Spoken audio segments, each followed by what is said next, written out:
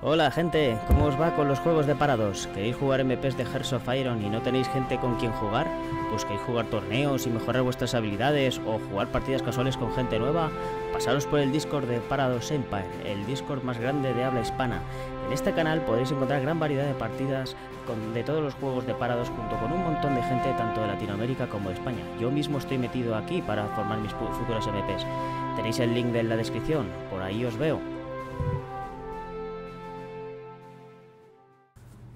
Hola, muy buenas a todos, soy Chico Percebe y bienvenidos a mi canal, bienvenidos a otro tutorial de Hearts of Iron 4. Hoy voy a intentar enseñaros cómo hacer desembarcos navales. Estoy aprovechando una partida muy casual que he estado jugando yo con Alemania, ¿vale? Ya voy bastante avanzadito, como podéis imaginar, y bueno, he declarado la guerra a Finlandia para poder invadirla navalmente y, y también aéreamente y así aprovechar y hacer dos tutoriales de un tirón. Así que bueno, pues vamos a empezar con lo que es el desembarco naval. Bueno chicos, eh, lo suyo para un desembarco naval, como consejos eh, prácticos, eh, lo suyo es que cuando lancéis una invasión a un sitio por, mar, procurad que siempre que podáis intentar ir a los objetivos principales como un muelle, como por ejemplo el Turtu, que tiene ahí un muelle, como podéis ver, Pori, ahí hay otro muelle, Basa, otro muelle, e intentar tomar esa provincia lo antes posible, porque una vez que hacéis un desembarco naval en la zona, salvo si tenéis apoyo de muelles eh, muelles eh, ficticios como le llaman ahí eh, tienen un nombre ahora se me acaba de olvidar con puertos flotantes eh, normalmente una invasión naval se queda en la zona y se queda con los suministros que hay en la zona que duran bastante poco. Por lo tanto, si no tienen eh, acceso a ningún muelle pronto, estas tropas acaban ahogadas y probablemente te las aniquilan muy rápido, ¿vale? Eso como, como planificación eh, principal a la hora de lanzar una invasión, ¿vale? Bueno, pues ¿qué requisitos se requiere para lanzar una invasión naval? Lo primero, hay que tener control naval del 75% de todas las zonas en las que vaya a pasar eh, una invasión naval, ¿vale? Ahora enseñaré cómo funciona eso, pero lo suyo es que la flota esté patrullando y controlando pues la zona lo mejor posible, ¿vale? Como podéis ver tengo una flota bastante grandecita aquí en la que están haciendo misiones de todas, prácticamente todas de patrullar porque me sobra la gasolina básicamente para localizar a los pocos barcos que tienen los finlandeses y, y hundírselos cuanto antes. Esto lo que me hace es tener prácticamente la superioridad naval casi absoluta de la zona, porque mm, Finlandia, los pobres desgraciados, solo tienen 8 barcos. Entonces, bueno, pues con este control que tengo, eh, ya me garantizaría que al menos no va a haber ningún problema a la hora de lanzar un desembarco. Si por lo que sea tenéis un control naval un poquito más bajo, que a veces va fluctuando bastante, eh, puede que a lo mejor en un momento puntual tenéis 75, podéis lanzar la invasión. Si baja otra vez a, yo que sé, a un 50%, porque Gran Bretaña, por ejemplo, es muy común que se vaya de un, de un mar y vuelva otra vez, pues eh, da igual, ya la invasión la habéis lanzado. Lo que sí os voy a asegurar con eso es que lo más probable es que algún que otro barco que esté en el mar de algún convoy acabe siendo interceptado y probablemente hundido. Luego además podréis tener problemas a la hora de suministrar las tropas que estén en el otro lado, como aviso. Pero bueno, eh, ya con eso más o menos es como pequeñas cosas que pueden ir ocurriendo. Bueno, pues entonces eh, requeréis, como ya dije, un control naval super, total de la zona, o digo un 75% de, la zona y a partir de ahí podéis lanzar eh, desembarcos. Podéis hacer desembarcos con lo que queráis. Eh, recomendable utilizar eh, infantería y y marines. Eh, los tanques no son buenos para hacer un desembarco. Bueno, pueden servir siempre y cuando no se vayan a enfrentar a nada. Eh, si tienen un que luchar en la zona, un combate naval, eh, digo un combate de desembarco, tiene un penalizador prácticamente de menos 99% y lo hacen completamente inútil. Existen tanques por DLC en Mandegans que son tanques anfibios y podrían cubrir esa, ese, tipo, ese tipo de carencia. Son barcos ya muy especializados que se dedican sobre todo a, intentar hacer desembarcos en sitios muy duros, ¿vale? Pero bueno, lo normal para todo el mundo, infantería y marines tiende a ser lo mejorcito y lo más básico para poder tirar, ¿vale? Yo voy a tirar con, marine, con infantería normal porque es la que tengo, ¿vale? Tengo a este tío más o menos aquí listo para ello, ¿vale? Y bueno, pues para empezar a hacer un desembarco, lo suyo es seleccionar, por ejemplo, podéis elegir los que todas las divisiones que queráis, ¿vale? Hasta un límite que se basa en lo que tengamos aquí, en el botón de armada que, se, que lo tenemos aquí. La base es 10, solo podéis hacer desembarcos de 10 y luego por tecnologías, la ancha de desembarco me aumenta hasta 30. Luego hay otra más que aumenta creo que hasta 100, creo recordar. La tecnología la tenéis aquí en apoyo naval eh, transportes, aquí veis, barco de transporte, capacidad de inversión naval más 10 y luego ya tenemos aquí la ancha de desembarco que le da un más 20 y luego por último estará otra que le da una capacidad de inversión naval de más 100 por lo tanto si sumamos 10 eh, más 20, 30 más esto, 130 eh, no está mal y luego pues bueno pues va muy bien porque aumenta también la velocidad de la invasión y toda la pesca. Lo que pasa que esto ya es para tecnologías muy avanzadas como podéis ver. Aviso que si no tenéis ni siquiera esta tecnología no podéis hacer ni un solo desembarco. Y lo digo por los mexicanos que México no tiene eh, ni siquiera el barco de transporte básico investigado. Eh, mucha gente me lo pregunta así que que sepáis que por eso ocurre vale y bueno pues entonces seleccionamos por ejemplo una división. Voy a elegir la división esta de infantería eh, tenemos esta opción, la orden de invasión naval. Esta es la básica, la típica de siempre, ¿vale? lo que dice es que hacemos clic y entonces se resaltan todos los muelles en los que podríamos iniciar una invasión naval, ¿vale? Yo elijo empezar desde Danzig. Hacemos clic izquierdo y seleccionamos, ¿ves? Se pone azulito. Y ahora te dice dónde quieres hacer la invasión naval. Y como podéis ver, se seleccionan todas las zonas costeras prácticamente del mundo donde queréis hacer una invasión. Hay como podéis ver unas zonas de color eh, bueno, aquí salen por ejemplo de azul porque eh, clarito porque es un muelle mío, pero eso podemos seleccionar cualquier sitio. Entonces ahora yo digo que selecciono que haga un desembarco aquí con clic derecho, ¿vale? Y ya está marcado, ¿veis? Ahí sale, ya dice que está ahí la invasión. Pues nada, ahora ya simplemente podemos darle otra vez aquí y ya tenemos la invasión preparada. Este tío requiere un tiempo, ¿vale? Eh, mandar, cuantas más divisiones mandéis, por ejemplo, ahora mismo solo he mandado una, si vemos aquí, nos deja el ratón que dice, es disponible, pues que, son necesarios. Ahora mismo 0.5, porque literalmente acabo de hacerlo, ahora se eh, pone. Y en tres días se hace la invasión naval. Si quisiéramos lanzar más de una división a la vez, a una sola, a un mismo muelle, a un mismo lugar, por ejemplo, eh, entonces, por ejemplo, vamos a hacer esta otra, vamos a ir a Königsberg, por ejemplo, y lanzamos una invasión naval aquí, ¿vale? Como podéis ver, la flechita también va desviándose. Pues bueno, aquí, si lo dejamos, tenemos ahí que la segunda invasión, pues me tarda más, me cuesta más convoys, porque claro, son más divisiones, y tarda más días, ¿vale? Tenedlo en cuenta porque, bueno, más, eh, cuanto más tropas pongáis en una sola invasión, pues, eh, pues más días va a tardar. Cosas que se pueden hacer también, por ejemplo, eh, podéis hacer múltiples desembarcos desde el mismo muelle. Estas tres divisiones perfectamente puedes seleccionarlas desde Danzig y hacerlas atacar a otro lugar, ¿vale? También podéis hacer que estas tres divisiones, en vez de que simplemente caigan aquí, como podéis ver, se queden resaltadas unas zonas de alrededor. Por ejemplo, si yo dijera un desembarco en Hanko, dice que puede atacar aquí y a Helsinki. Y entonces estas tres divisiones se dividirían ellas solitas y atacarían los tres sitios a la vez. ¿Vale la pena? Bueno, depende de la situación. Si os queréis calentar mucho la cabeza, podéis mandar, como yo a veces he hecho, una división por todos lados. O sea, literalmente, cojo y digo, venga, aquí cuántas divisiones hay. Ya tengo una, venga, pues otra aquí. Pongo aquí una y ahora la pongo en Turtu. Eh, luego pongo otra aquí y luego la meto aquí y lo pongo aquí, ¿vale? Y entonces todas ellas van a estar tardando tres días. Si hacemos que, por ejemplo, más de una división esté saltando en la misma zona, creo que se acumulan. Me parece, quiero recordar que hace. A ver si lo hace así. Eh, ta, ta, ta, ta. No alcanza la posición inicial, bueno, claro, porque se tienen que mover, pero bueno, sí, efectivamente, se ponen dos divisiones, atacarán de forma semi-simultánea a a la misma vez. Luego, otra cosa que podéis hacer, por ejemplo, si ya tenéis un plan de invasión hecha, por ejemplo, eh, pero queréis añadir más divisiones, las seleccionáis, ¿vale? Las, por ejemplo, estas dos las selecciono y si mantengo pulsado el control, veis que sale ese simbolito, puedo hacer clic en cualquiera de estas para, por ejemplo, asignar a este plan de batalla, eh, a esta invasión naval, otras dos divisiones más. ¿Veis? Y ahora, bueno, pues habrá aumentado el tamaño, el número de días, supongo, sí, a 9, perfectamente, efectivamente y ahí los tenemos. Si luego queréis saber cuántas divisiones o qué divisiones que tenéis en cada plan de batalla, eh, en cada invasión, eh, pues podéis con el mismo botón hacer clic izquierdo, eh, clic derecho, perdón, manteniendo pulsado el control y os dice qué divisiones están metidas en, para esa invasión, ¿vale?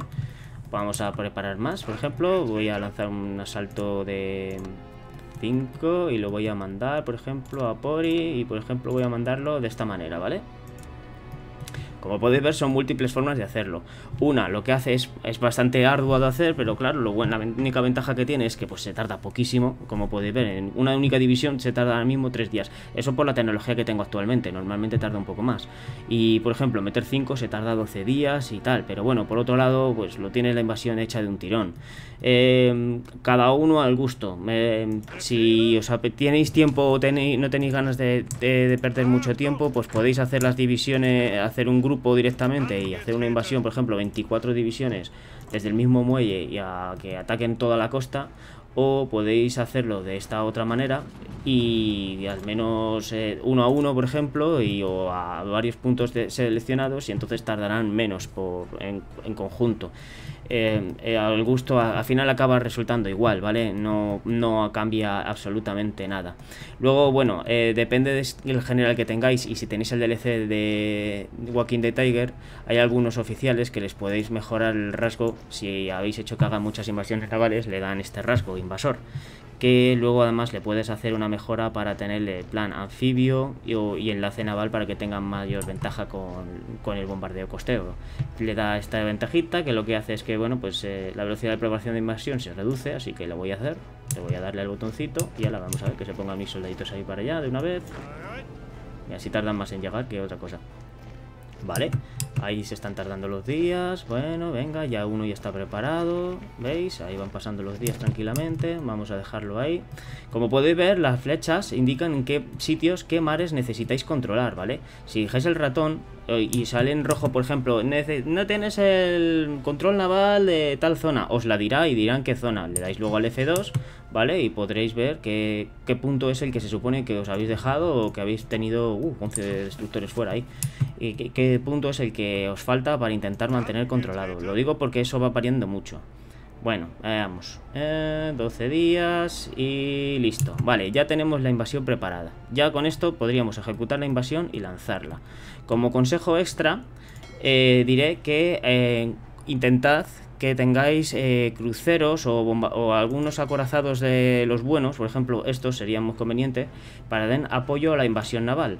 Estos tíos lo que harán es hacer una escolta de los, de los barcos de transporte de las tropas y se pondrán en la costa para disparar y ayudar al combate eh, que haya en, el desembarco.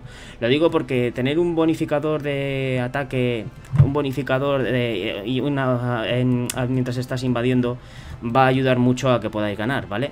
Lo, es bastante sensato y útil de hacer. Así que bueno, vamos a hacer la invasión. Como podéis ver, si lo hacéis, saldrá la flechita así y veis, ya iban los soldaditos. Pues nada, vamos para allá.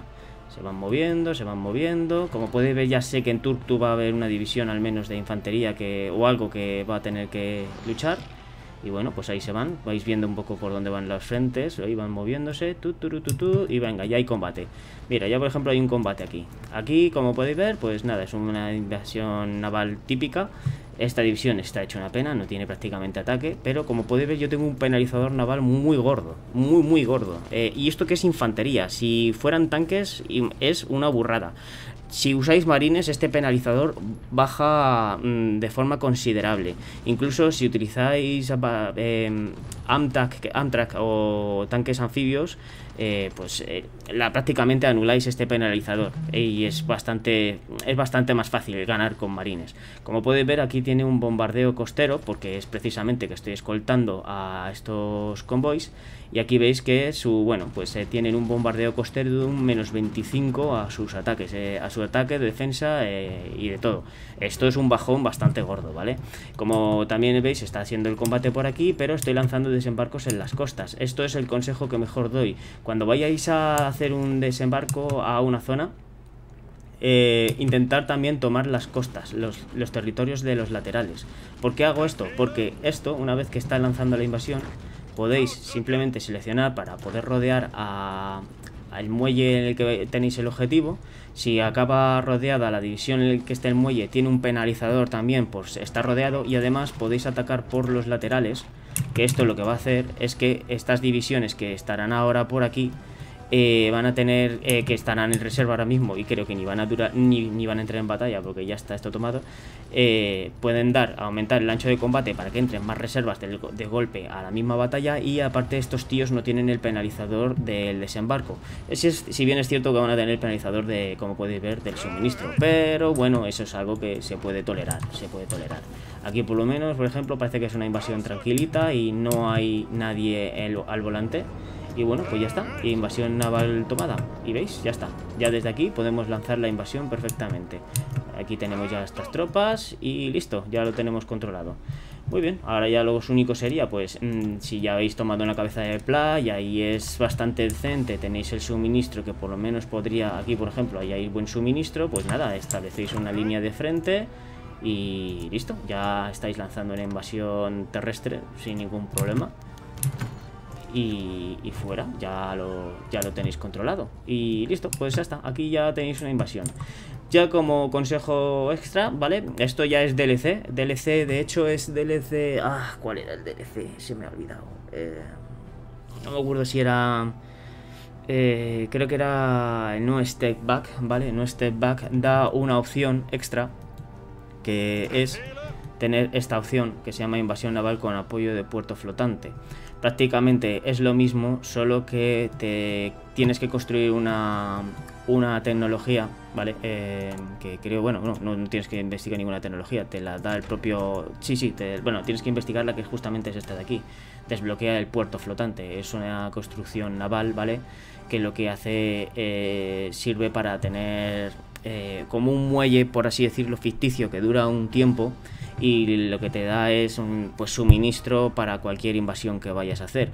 Esto da mucha ventaja porque lo que hace es que si vas a ir a un sitio, por ejemplo, venga, voy a hacer voy a hacer alguna cosa guarripe, eh, veamos, voy a lanzar una invasión con estos tanques, no es lo recomendable, ¿vale? Pero por ejemplo, voy a coger tres tanques de, de estos ligeros, lo voy a colocar eh, aquí otra vez, a Danzig, y le digo que haga un desembarco, como podéis ver, con puerto flotante en esta zona. ¿vale? Vamos a hacer una invasión así. No creo que tarde mucho, ¿no? 15 días, ¿vale? Vale, pues venga, vamos a ver que vayan corriendo para allá, que se coloquen, solo para que les enseñe. Tardan unos días, bueno, igual me he pasado, solo quiero hacer, voy a hacerlo de unos pocos, voy a hacer solamente de uno. Voy a hacerlo solo de uno para que se tarde muy poco, 5 días. Mejor. Muy bien, pues nada, lanzo la invasión naval, esto no lo hagáis nunca en casa, ¿vale? Con tanques ligeros no se os ocurre hacer un desembarco, pero bueno, solo quiero enseñaros lo que puede ocurrir. de paso voy a poner tecnologías, a estructura grande, patata, esto por aquí y bombas, más bombas. Eh, vale, ya está. Muy bien, estos ya están ahí invadiendo. Bueno, pues nada, esta invasión naval ya está tirando, ¿vale? Esta invasión naval, como ya dije, pues es un, tiene un puerto flotante, que es un, pues, una tecnología y una construcción extra que la tenéis aquí en construir barcos. Si seleccionáis si seleccionáis todos lo tenéis aquí, ¿veis? Puerto flotante.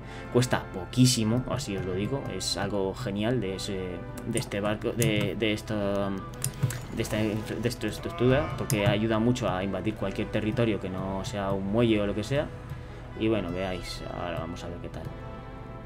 Vamos allá, este avanza tranquilamente. Muy bien, no me importa capturar a una persona ahora. Muy bien, ahí va el tío, ya le queda poquito. Muy bien, ahora este va a invadir. A ver qué tal. Como era de esperar, no hay nadie en, esa, en esta costa. Oh, vaya, parece que sí que se va a meter alguien. Pero no importa, justo. Vale, muy bien. Ahora, este tío ya ha entrado, ¿vale? Ya está ahí la división. Y resulta que tiene este puerto flotante, ¿lo veis? Sale hasta un simbolito y se crea aquí un, puerto flotante 26 días hasta agotarlo Esto lo que me va a dar es, por ejemplo, pues suministro para poder eh, atacar a un sitio con más facilidad y que dure un tiempo Que me permita estar aquí durante más tiempo y va muy bien esto, pues, sobre todo cuando estéis utilizando pues eh, tanques anfibios, por ejemplo, eh, que a lo mejor atacas en un territorio de costa y a lo mejor te quieres evitar un muelle gordo, pero atacas a una zona de costa y la puedes invadir perfectamente aquí un tiempo con más margen de maniobra para poder luego ir a por un muelle O como acabo de hacer yo, que he usado un tanque ligero y este tanque ligero, que en principio es muy mala idea mandar un tanque ligero porque se quedará sin gasolina enseguida, por lo menos este tío va a tener un poco de suministro durante un tiempo que le permitirá mantenerse ahí tranquilamente. Y veis, ahora mismo este no tiene problema de suministro. Si sí viene de verdad que se le va a ir agotando la gasolina, pero para eso está ir corriendo hacia un muelle rápido y cataplazo. Hala, ya he tomado el muelle y ahora ya sí que tengo gasolina en esta zona. Y desde aquí puedo mandar los 24 tanques de Rommel y mandarle ahí a partir de la boca desde este lado, ¿vale? Y bueno, pues esto es todo chicos. Este es eh, como hacer un desembarco naval. Espero que os sirva. Eh, como ya digo, para repasarlo, controlar las zonas de mar en las que veis que la invasión naval se está, dice la flechita que por los que va a pasar. Aparecerá también en la propia flecha aquí, os dirá el mar de no sé qué, le falta más control naval o lo que sea. Bueno, pues ponéis los barcos intentáis hundir a los suyos. No siempre va a ser fácil, no siempre vais a tener el 100%, otras veces será menos. Pero bueno, y una vez que lo tengáis, eh, asegurar de tener el número de convoys necesario. Eh, y nada, pues ya está hecho. Una vez de lanzar el desembarco, aquí lo tenéis, ¿vale? Pues nada, espero que os sirva y, y nada, el siguiente tutorial. Vaya bien.